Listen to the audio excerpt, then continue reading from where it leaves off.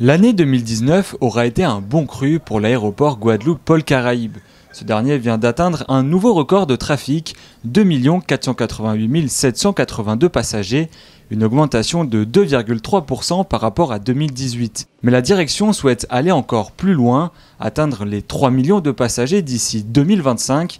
Pour cela, elle va lancer de gros programmes d'investissement tout au long de l'année. Nous sommes dans une année où nous sommes en train de lancer un programme d'investissement très lourd un programme d'investissement de 248 millions d'euros.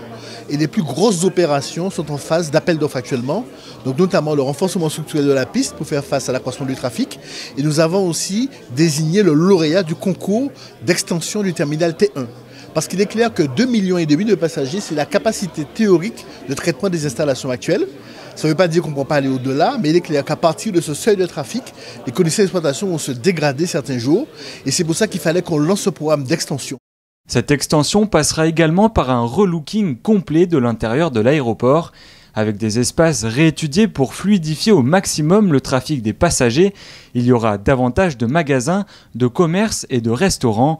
Le directeur promet une ambiance locale. Nous avons prévu aussi de mettre plus de chaleur dans ce terminal, donc beaucoup plus de bois, beaucoup plus d'espace vert à l'intérieur du terminal pour apporter cette chaleur qui manquait à Port-Caraïbes et aussi cette coloration locale, ambiance locale qui manquait à Port-Caraïbes. À ces nouveautés s'ajoute l'arrivée de la compagnie JetBlue qui desservira New York à compter du 1er février.